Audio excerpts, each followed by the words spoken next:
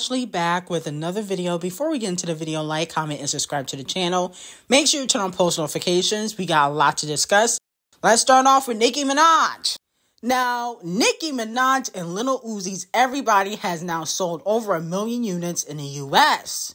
Congratulations to Nicki Minaj. Now, I know Nicki Minaj doesn't need music videos, but that single should have had a music video. That was a bop. Still is. But when everybody first came out, when Pink Friday 2 dropped, that was a fan favorite. So, you know, we should have gotten a music video for that. Nicki Minaj also brought out Jeremiah and G Herbo at Gag City, Chicago. Nicki performed Chiraq with G Herbo and one of my favorite songs, Want Some More, uh, with Jeremiah, which is one of my favorite songs on the Pink Print album. Definitely top five. And um, I think it's so strategic how Nicki Minaj is bringing out different people each show based on where the artist is from. I think that's a very strategic um, move. Okay. Um, you know, everybody that is effing with Nicki Minaj came out in support and um, performed with her except Champagne Thickums because he's a secret hater. Even though he was in Toronto, he didn't go on stage because he's a secret hater. And I think he's a little bit jealous of Nicki Minaj because it didn't make no sense to go to the show and not perform. But that's neither here or there. I feel like everybody else has been very supportive of Nicki Minaj's tour. Um, with that being said, though, Nicki Minaj Pink Friday 2 World Tour is now projected to become the second highest selling rap tour in history, followed by Champagne Thickums is All a Blur tour, with 29 consecutive sold out shows, is already the number one highest selling female rap tour of all time. Meanwhile, Botch and Bitter is still struggling to sell out the EBT experience, um, which she is headlining. Um, I believe it's June 28th, okay, with a bunch of other stars.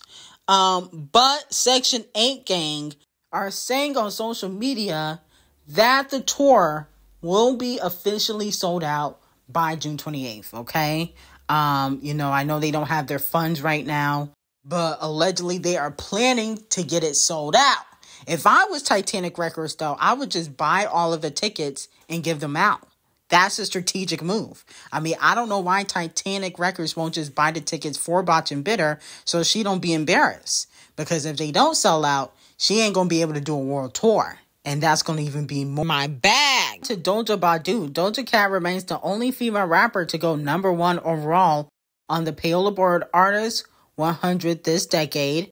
Doja Cat rose to number one in 2022. Um, she became the top musical act in the U.S. for the first time, thanks to five charting singles on the latest Hot 100 chart um, from her 2021 album Planet Her from her hits Women Need to Know, um, You Right, featuring The Weeknd, Freaky Deaky, featuring Tyga, um, and Get Into It Yuh. Um, this week, Doja Cat reigns supreme as the number one female rapper on the chart and 27 overall. So, congratulations to Doja Badu. And yes, you know, she does get payola. Okay, we know that for a fact. And she do low when it comes to the per sales, but at least she getting payola. You know, the payola is saving her. And honestly, I think a lot of artists probably wish they were getting the payola package like Doja Cat. You know? Um, and you know, that doesn't take away from her talent. She's still talented. Okay, even though, you know, her numbers are not always up to par. Um, she's still talented, and in my eyes, I still feel like she can be the princess of rap. If we're talking about talent, you know, I think she's the top contender to be the Princess of Rap um, based on her artistry. Okay, and how diverse she is. She's a diverse artist, and you can't take that away from her. Uh oh, it looks like Section 8 gang are calling out JT for copying Botch and Bitter. So, um, recently, JT put out a sunglass line with an influencer named Diera and um, she has a similar outfit to what Botch and Bitter and Lizzo wore for their collaboration called Rumors. Okay. Then earlier this year, when Botch and Bitter put out that trash um, freestyle called Like Trash, she had tape on her titties when she went live. And then, you know, JT did a similar look for um, her new single, Okay, which we will be reviewing.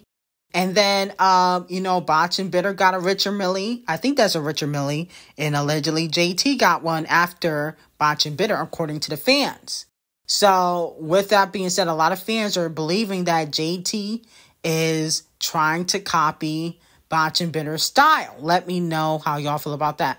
I feel like JT might have a little bit of a Cardi B or Doja Cat or maybe even a Dolce influence. But I also feel like Botch and Bitter be copying too.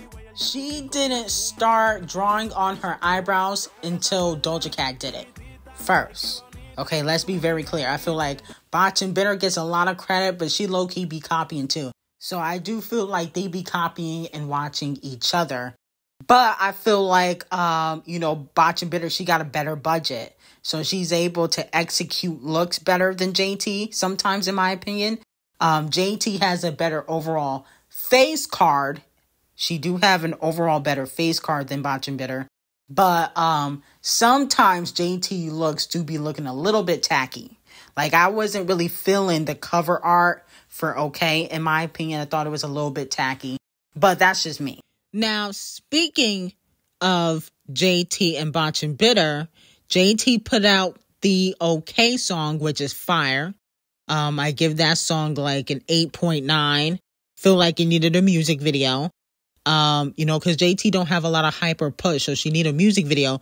But she clocks loose tooth. Okay.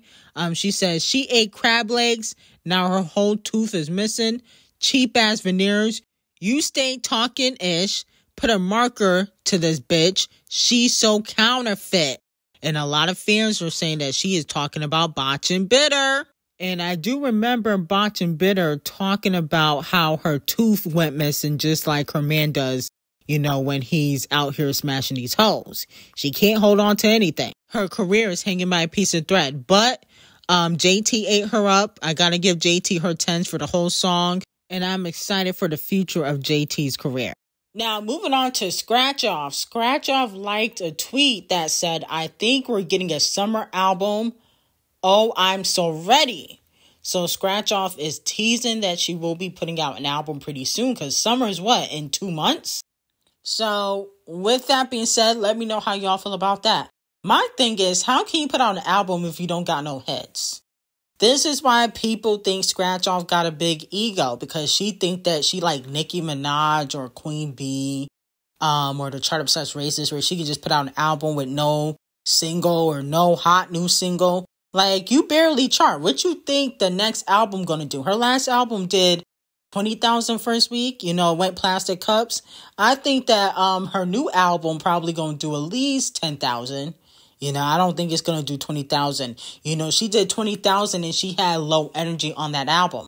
She ain't got no hits on this album, so I don't think she to do much. I think she to do 5 to 10,000 first week. Good luck. And I definitely don't think RCA the colorist is recouping anything from scratch off. I think they probably in the red. No shade. Now, moving on to Queen Bee, um, a rumor is going around that Jason Aldean turned down $20 million offer to do a duet on Cowboy Carter. Um, allegedly saying, no way I'm putting my name on that crap. Um, I think this is a rumor that stands that don't like Queen Bee are making up because didn't they say that Camel Face spent $20 million on, I think, payola for Cowboy Carter, yet all her songs are dropping down the charts? Okay. So it's just a rumor because I remember y'all saying that she spent $20 million on payola, yet her music is dropping down the charts. How does that make any sense? Y'all are slow if you believe this. Plus, in 2015, Jason Aldean admitted that he would love to do a duet with Queen Bee. So, this is even more of a reason why this is a lie. Now, Ice Spice was on the Fisher remix that officially came out with Cash Cobain and Bay Swag, and um, it's a different sound from what Ice Spice usually does, but I liked her verse. I'm not going to front.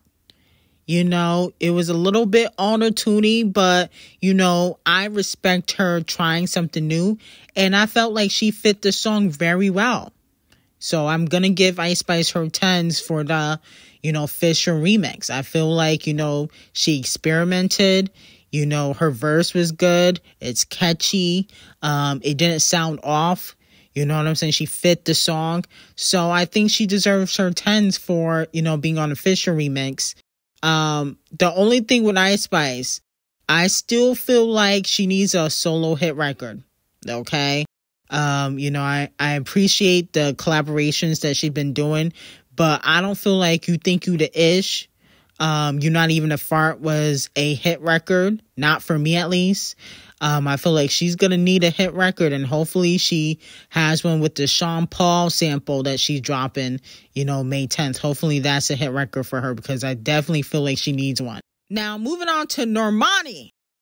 She released her alleged um, lead single 159 featuring Gunna um, with no music video, barely any promotion.